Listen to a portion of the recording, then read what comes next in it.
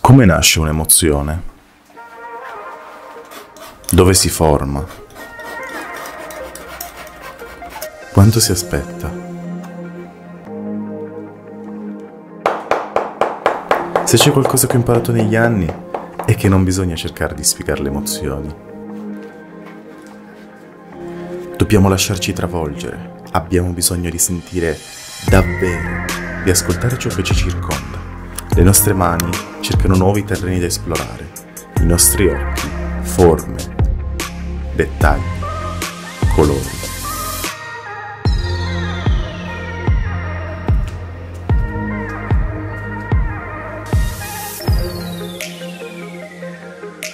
Ho imparato a raccontare le emozioni con il mio sguardo e con le mie mani, trasformando il mio quotidiano in una continua scoperta. Non aspettare, il domani è già qui, catturalo